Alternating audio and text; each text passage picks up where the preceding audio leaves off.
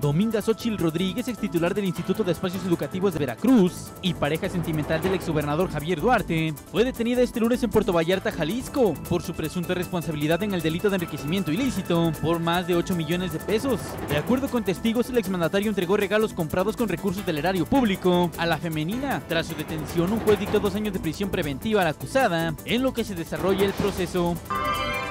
Otro periodista fue asesinado en México. Se trata del presentador de noticias Luciano Rivera, también director de la revista Dictamen y accionista del canal de televisión por cable CNR en Baja California. Los hechos ocurrieron este lunes frente a un bar, cuando un grupo de sujetos agredió al comunicador. Uno de ellos sacó un arma y le disparó en la cara. Los agresores huyeron tras consumar el acto. Según cifras oficiales, desde el 2000 a la fecha en México han sido asesinados 126 periodistas.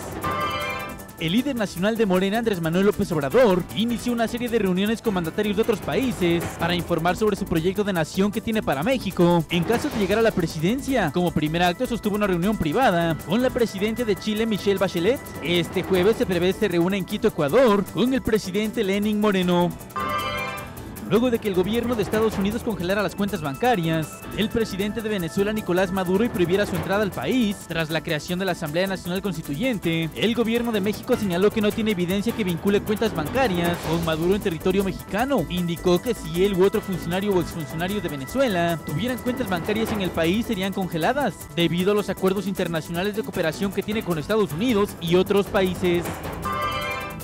El Instituto Nacional Electoral informó que para la jornada electoral de este primero de julio de 2018, donde se elegirá el nuevo presidente de la República, se instalarán 155 mil casillas en las 32 entidades de México, con un total de 1.400.000 ciudadanos que fungirán como funcionarios de casilla.